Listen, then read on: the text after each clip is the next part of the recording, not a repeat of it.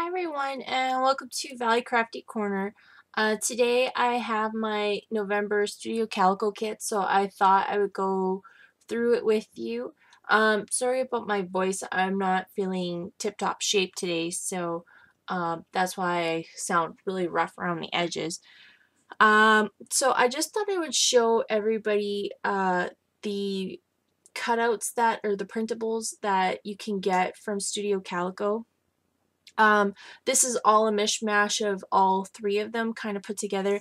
And I have these black ones over here just because when I printed it out on that really thick, glossy, like kind of half glossy cardstock that I had, it really smudged the black ones. So I think I might just reprint those labels out over again and just on plain cardstock.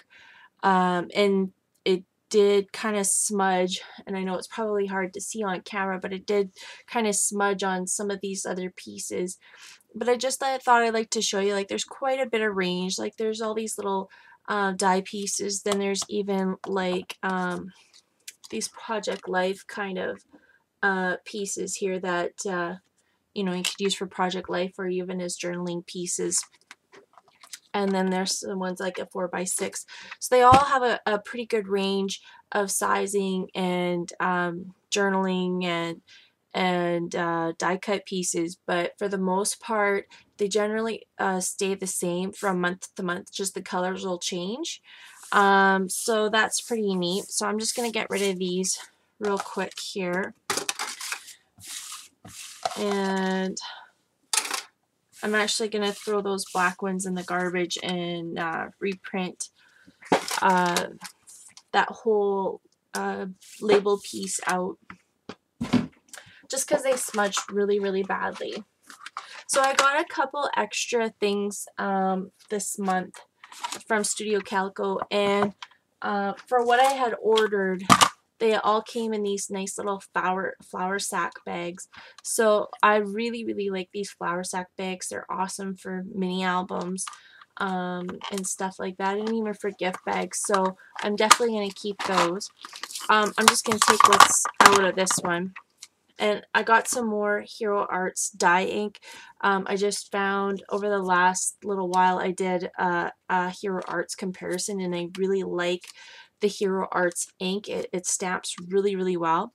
So I got the neon, I like these are all the neon colors. So I got the neon orange, pink, purple, blue, yellow, and green. So those will go in uh, in with my uh, inks. And I'll just get rid of those. And then some of the other things that I got was this ephemera pack from Studio Calico for the Christmas collection. I can't remember what the Christmas collection's name is off the top of my head, and I'm sorry. I think it's like Winterland or something. Actually, here's the 6x6 here. It's Wonderland. So it coordinates with the Wonderland pieces. So I got those little pieces, and there's just like a whole bunch of little snowflakes and die cuts. And, and if you look here, that's kind of like what you get for the extra pieces. And then I got these wood veneer, um, it's die cut pieces, but like I would call them like like title prompts or something. And I'll just open it up here so you can see them. So they're all wood based and like they all have like different sayings. This one says okay. This one says hello. Hello, dear. Smile. You look lovely. And just a, pl a plain one. And then a plain, uh, kind of like label shape. And this one almost looks like an ornament. And kind of like a flower shape. And then this one that says love on it. So I really like those. And then I got some of the Dear Lizzy Fifth and Frolic, and these are the Brads. And I really like, I really like the gold on these. That gold um, accent really kind of makes it look um, antique almost. Uh, and this one's the printed chipboard shapes from the same Fifth and Frolic line. And these are what the pieces look like. And then I also got these fabric stickers. And I really like that camera there. And actually, if you have the Neapolitan collection stamp, that looks like that same camera. So you could definitely use that camera for this stamp, or for this set as well. So those are really nice. And then I got the um, accent and phrase sticker book. And these are worth the money right here. Um, so I'm, I'm sure lots of people have shown this. So, and there's lots of gold accents on these pieces.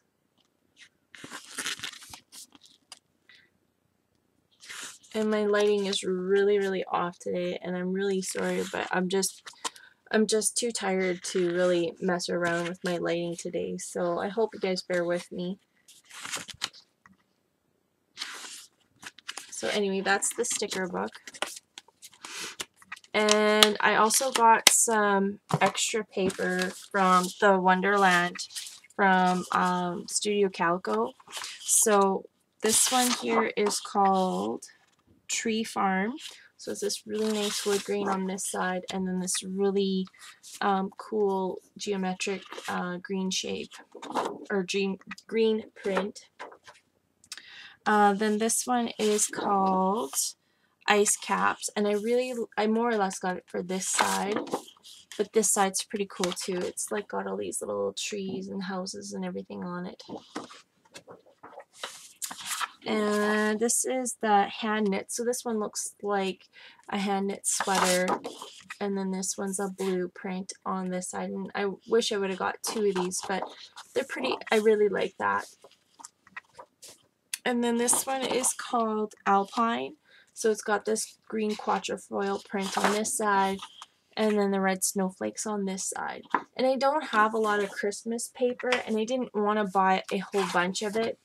So I just more or less got um, some of the sheets that I, I really liked from the Studio Calico kit. So this is all the pieces from the main kit, which is uh, sock hop.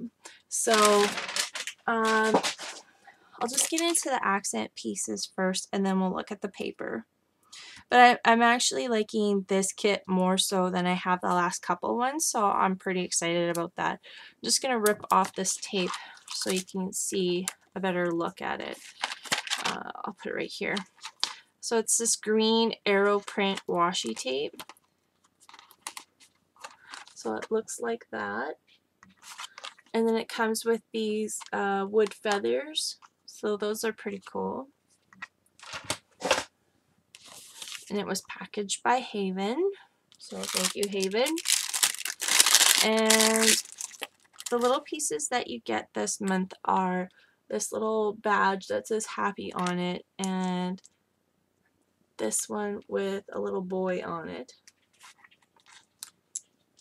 And then this stamp set, which I actually like this stamp set more so than the last few stamps that we've gotten. So I like that. And then this is uh, some brads from Echo Park. And it's a, this says pretty, pretty bad, not so good, good, great, excellent, over the top. It's kind of like a little piece. And then these little brads look like that. Kind of looks like an ampersand. And then this green one. And then this kind of like um, arrow looking compass one. And then this yellow one. Focus. Anyway, I don't know why it doesn't want to focus. There we go. Looks like a little doily kind of thing. And then this little blue flowery one. So those are the brads. And then it just only came with a few die cut pieces this month. Which is kind of nice. So there's like this multicolored uh, pinked circle. This uh, kind of geometric shape one. This plain heart. This one that says smile. And this one that says you. So those are cool.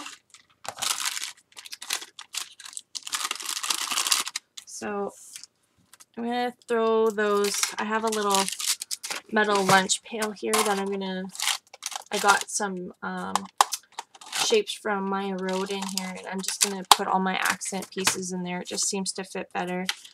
And I always save these, and I've shown you guys this before, um, these digital shop and then these other little pieces in it. Sometimes these patterns coordinate with the papers in the kit. Sometimes, not all the time. So I always usually keep these. And um, this is from Basic Grey. I'm not sure which collection it's from. Um, but anyway, it kind of looks like washi tape. It's it's transparent, you can see. So that's kind of neat. And then some basic grey um, chipboard alpha, and it's it looks like black in the in the picture, but it's actually a, a navy blue.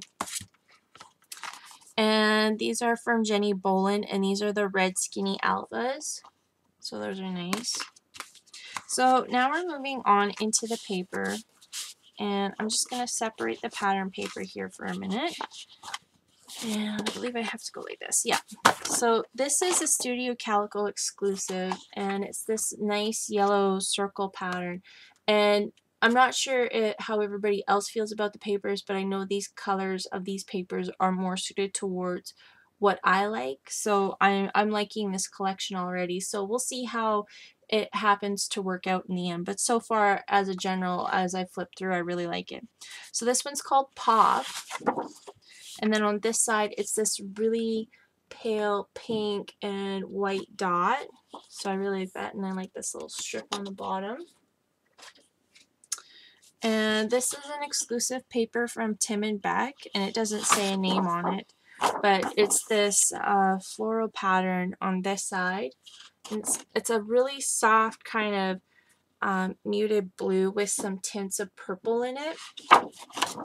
And then this uh, gray um, kind of tanny looking background on this side. And then we got some vellum and I am not sure where this came from. I would have thought it would have came from the Fifth and Frolic collection, but it doesn't I don't think it is, so I'm not sure which collection it's from, but it's this nice feather vellum paper. And this one's from the Everyday Eclectic collection from Stu from Echo Park for Studio Calico. And it's this, uh, uh, what's it called? This one is, oh, oh, I understand now. So this one is from the Everyday Eclectic collection. So I, it doesn't say what the name of it, but I know it's in the collection because I have this. And then on this side, it's For the Record 2 for Studio Calico. So it's kind of like a double print from two different manufacturers. So that's that's very interesting. So that's kind of cool. And this one's Basic Grey Lucille. And I really like this paper. Um, not so much for this side. This side's okay, but I really like this side. And um, it looks a little busy, but I do lots of layering, and it's nice to have a darker color to pull it, to ground everything. So I really like that. And then this paper is a Studio Calico exclusive from Basic Grey. So it's this red kind of weird chevron print.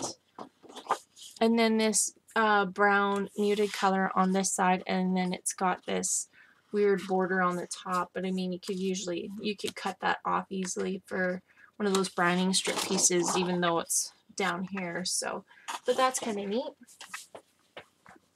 and then this is again basic grey for studio calico and it's this pink and tan almost maybe craft uh, chevron print and then this um, graph print on this side. Not, I'm not caring too much for this one. So uh, the last piece of pattern paper is again for basic uh, basic grey design for Studio Calico, and it's this print which we've seen in the PB&J collection. It's just in a brown. And then it's got this uh, fun little number print. This almost might be a little bit too busy for me, but we'll see if I use it or not. And then the cardstock that you get in the kit is this really deep teal kind of uh, turquoise. I'm not sure if that's teal or turquoise. I'd say that's maybe turquoise um, color and then gray and craft and then again some of this white Swiss dot paper. So, so those seem to coordinate pretty well. So I'm just going to move that stuff over here. And then I did get one extra add-on, and this one is called Poodle Skirt. So, and the reason why I got it is I've been collecting all the Fifth and Frolic um, pieces for uh, the Dear Lizzy line, and this had one of the pieces that I that was in it. So I thought, well, if I was going to get an add-on, I was going to get um, this because it, it was going to save me money in the end, I suppose, if if you think logically like I do, or not logically. But this is the die cut cardstock pieces. And this is what the pieces look like. So that's that. I'll stick that over here. And these are so delicious chipboard shapes, and they're just a whole bunch of like little triangles, which you could use as banners. And this is uh, from the Sweetest Thing, and they're enamel dots, similar to the ones that we got in the last kit. And this stamp set is, um, doesn't say the name of it, but it's Studio Calico stamp. And it has uh, Fine Joy, Shine On, Do What You Love, and then this nice little border piece. And I would assume you could either put these, like these title pieces this way or this way. I'm not 100% sure how they'll fit in, but I'll have to see some of them might only fit this way and then this nice little flower piece down here and that might actually coordinate really well with the fifth and frolic collection so we'll see and then it came with the October afternoon snow cone mini market stickers and that's another reason why I got this add-on is because I really really wanted these that's usually the only time I really get an add-on is if it's got a few things in it that I really really wanted and this um, this uh, are some tape strips. So I would assume it's like the washi strips from Basic Grey for Soleil collection. So those will be interesting to see. I've never used those before. And these are some Portfolio Alpha stickers from uh, Pink, um, is it Pink Paislee? Yeah, Pink Paislee. And I don't really have a lot of stuff from Pink pa Paisley, so this will be interesting to see how that works. Um, it doesn't say the name of it, it just has Pink Paislee stickers, so they're just the puppy silver ones. And then the papers that came in this one were quite a few from the Fifth and Frolic collection, so I wasn't disappointed uh, with that for sure. So this piece of paper is uh, called Ticket Booth and it's from the Midway collection. So it's this nice uh, geometric yellow print on this side. And then it's got all these uh, different colored of ticket strips. So, I mean, either way you could either use the strips you know, as individual tickets or use as this side. So, not sure which way I'll do that. And then I I have this piece of paper already. I have lots of the Fifth and Frolic collection. I think I have all the papers. So um, for the ones that I got extra, I am so thrilled that I got this kit. Um, so this one's called Foxy Fairview, and I really like this pattern. Um, and again, this is kind of showing up red, but it's it's uh, a, really a pink. So, and then this side is that um, looks like uh, sprayed paper towel in kind of a pinky color.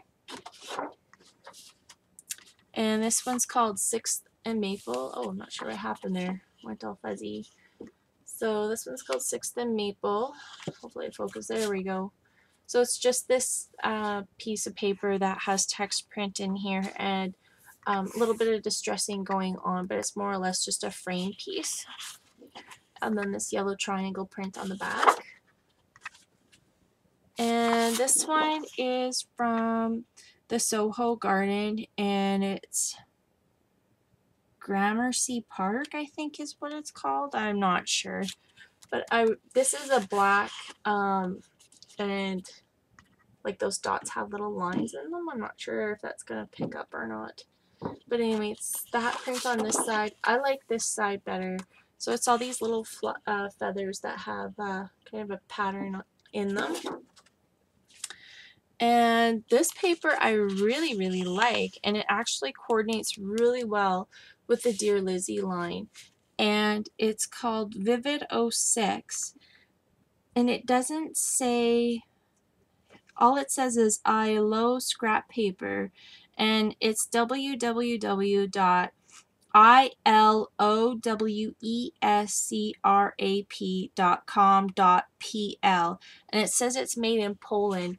And it's pretty cool paper. I mean, like you could use this for your project life.